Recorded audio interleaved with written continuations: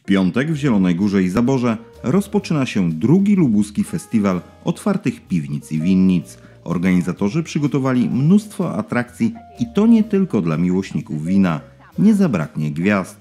Na scenie wystąpi m.in. Krzysztof Zalewski. Nasi goście z Polski mogli się przekonać, że lubuskie wino jest warte zachodu, że winiarstwo to jest nasza e, faktycznie marka. To nie jest żaden blichtr, ponieważ to jest prawdziwa legenda, która sięga XIII wieku. Nasza największa winnica w Zaborze na 35 hektarach jest założona dokładnie w tym miejscu, gdzie też była winnica historyczna, przedwojenna. Nawet zachowały się jeszcze niektóre szczepy. Także opieramy, budujemy tą markę na takich prawdziwych y, fundamentach. Przez pięć dni Lubuszanie oraz goście spoza regionu będą mogli zobaczyć niezwykłe miejsca oraz spróbować regionalnych win. Od 29 kwietnia do 3 maja ponad 30 lubuskich winnic zaprezentuje się w kilkunastu zabytkowych piwnicach na terenie Zielonej Góry. Barbara Buczek z Winnicy pod Lipą zapowiada, że festiwal będzie spotkaniem z historią i teraźniejszością winiarstwa. To także okazja do spotkania z winiarzami z lubuskiego regionu. Wy macie Państwo okazję poznać nas, ale my też jako winiarze mamy okazję się spotkać.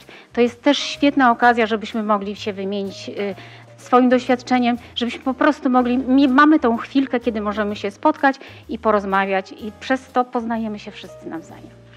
Programie festiwalu jest ocena lubuskich win. Wyniki zostaną ogłoszone podczas inauguracji imprezy w sobotę 30 kwietnia w piwnicy w Parku Sowińskiego.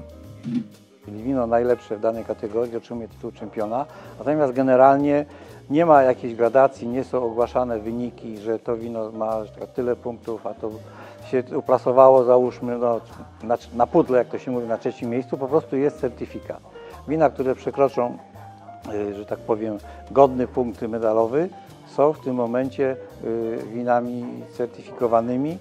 Wina z naszego regionu zdobywają nie tylko uznanie w Polsce, ale także w Europie. Przyznam się, że nie wierzyłam, że nasze czerwone wina mogą zdobywać stoły europejskie, ale miałam okazję e, przekonać się wspólnie z winiarzami lubuskimi w Madrycie dwa lata temu. Mieliśmy taki pojedynek z, najlepszy, z najlepszymi winiarzami hiszpańskimi. Okazało się, że nasze czerwone wino e, z winnicy pod Lipą e, może konkurować. No białe oczywiście udają się bardzo dobrze. Widać zresztą, jak dużo win stanęło już do konkursu. Do konkursu zgłoszono ponad 80 win. Jak wino, to śpiew. I to śpiew w wykonaniu największych gwiazd. Na scenie w Zaborze zaprezentuje się m.in. Krzysztof Zalewski i Kaśka Sochacka. Warto podkreślić, że koncerty są darmowe.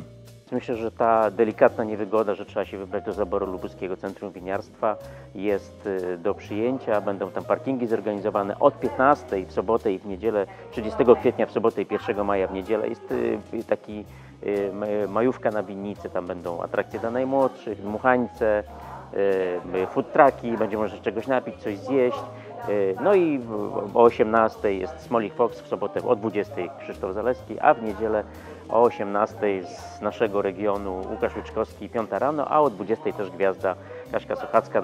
E, fantastyczne koncerty, wino e, i muzyka świetnie ze sobą grają i oczywiście ludzie. Tak? Tam, gdzie jest wino, mieszkają dobrzy ludzie. E, zapraszamy, przyjeżdżajcie do regionu lubuskiego. To pierwszy w tym roku weekend otwartych piwnic i winnic. Dokładny program festiwalu można znaleźć na stronie portalu Zachód i na stronie lubuskie.pl.